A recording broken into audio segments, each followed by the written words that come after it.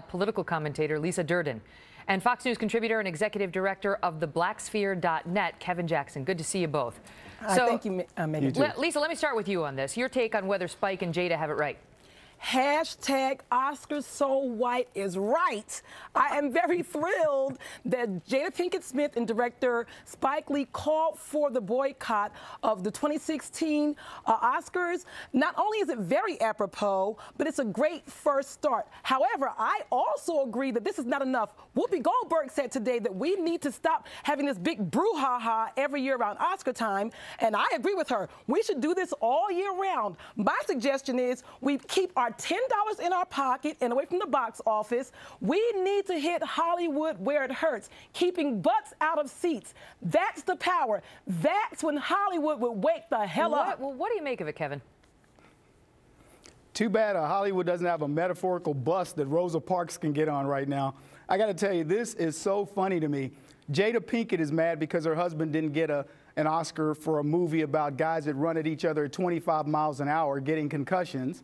Spike Lee did Chi-Raq, and he's upset because he wants to bring attention to a real problem uh, in Chicago. But it's, you know, I, I, didn't see the film, but it, you know, it probably was more of a, of a biopic more than anything.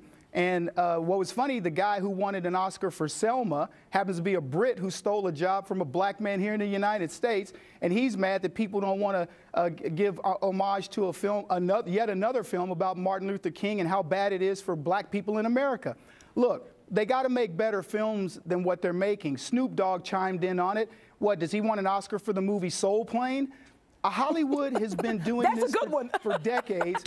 yeah, Hollywood, Holly, Hollywood's been, been doing this for decades. And what's interesting, uh, Lisa and, and Megyn, the, the people who are accepting money for this, the sellout blacks, haven't said a word. They wait until Oscar time to say, hey, listen, guys, uh, let me put you on the spot when you accept your Oscar for doing great work because we didn't see enough people of color. What about it, Lisa? Because, okay, so if there's not enough, there aren't enough roles for African Americans in Hollywood, mm -hmm. um, and that's sort of built into the system, then who do you, because now we come to Oscar time, is that, should that just be a fair competition, fair and square? Should race enter into it? Megyn, there are, he, Kevin named some, uh, some films he thought weren't so good. There are a bunch of piss poor white oh. actresses, oh. piss poor white directors, Ooh, piss poor white producers for a century, almost a hundred years, who've been being nominated and winning for Name bad names. performances. so we can't go there. Hey, we can't go there, Kevin. Stop playing that game.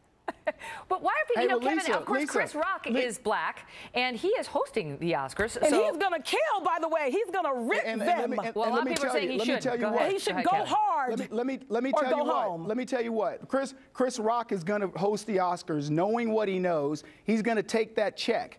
And here's the other thing, Absolutely. Lisa, that you probably haven't that you probably haven't thought about. Why don't black people go start their own Hollywood? The Indians have Bollywood. Go start Bollywood. Are if you, you serious, do Kevin? something and you're mad Are about you it, serious? Yes, I'm serious. Yes, I'm serious. Hey, well, let me I can't. ask you this. We're going to have to leave it at Bollywood. What about Tyler Perry? Just, what, what about Tyler Perry, who makes his own films? Singleton's been out there for a while. Spike I got to go, Lee. but you, have yeah. left us with a lot to think about. It's great to see you we both. need a town hall meeting, uh, Kel, um, Great to see you both. Megyn, we need a town I'll hall take meeting. It. Kelly's fine.